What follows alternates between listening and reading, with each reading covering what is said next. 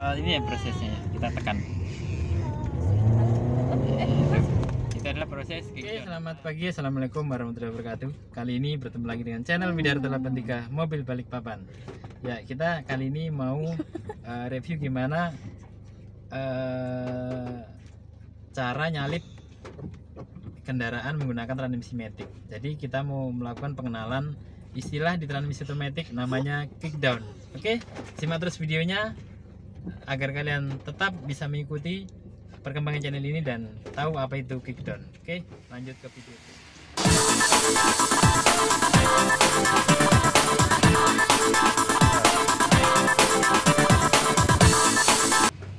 Kali ini kita mau eh, coba praktekin apa itu namanya kickdown. Jadi kita saat ini sedang di mobil Mazda menggunakan transmisi otomatis. Kita gunakan eh, D ya, untuk transmisi di posisi D. Jadi perlu diketahui di transmisi otomatis itu ada namanya istilah kickdown. Kickdown itu adalah proses kita tekan eh, pedal gas secara penuh ke bawah ketika kita mau mendahului kendaraan di depan kita. Kenapa harus kickdown? Jadi kickdown itu harus dilakukan eh, karena untuk menyali, eh, mendahului kendaraan di depannya itu perlu gigi transmisi yang rendah supaya terjadi akselerasi yang cepat.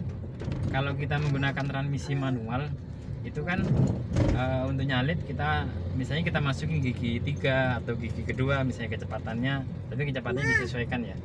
Tapi kalau eh, kalau untuk transmisi otomatis kita lakukan kickdown supaya transmisi otomatis itu mampu eh, pindah sendiri atau mau pindah sendiri ke gigi yang lebih rendah.